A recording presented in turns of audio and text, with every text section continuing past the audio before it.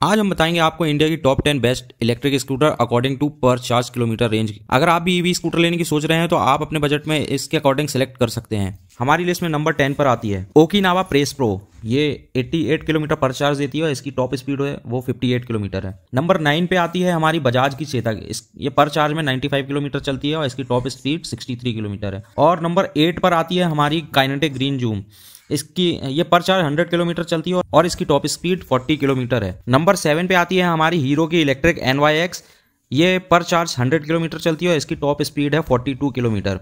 और number six की बात करें तो नंबर सिक्स में आती है हीरो इलेक्ट्रिक ऑप्टिमा। इसकी मैक्सिमम पर चार्ज कैपेबिलिटी है वन फोर्टी किलोमीटर और इसकी टॉप स्पीड है फोर्टी फाइव किलोमीटर। और नंबर फाइव की बात करें तो नंबर फाइव में आती है हमारे पास ये एथर की ईवी जिसको, जो पर चार्ज किलोमीटर 146 चलती है और इसकी और इसकी टॉप स्पीड है 80 किलोमीटर।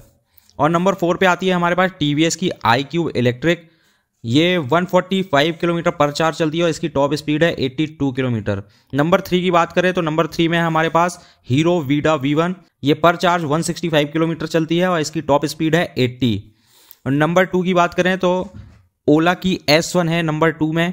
जो पर चार्ज 181 किलोमीटर चलती है और इसकी टॉप स्पीड है 160 किलोमीटर। और नंबर वन में आती है सिंपल वन की ईवी e स्कूटर, जिसका पर चार्ज किलोमीटर है 300 किलोमीटर और इसकी टॉप स्पीड है 105 वीडियो पसंद आए तो प्लीज़ चैनल को लाइक, सब्सक्राइब और शेयर ज़रूर करें और कमेंट करके बताएँ आप कौन सी ईवी e स्कूटर लेना पसंद करेंगे।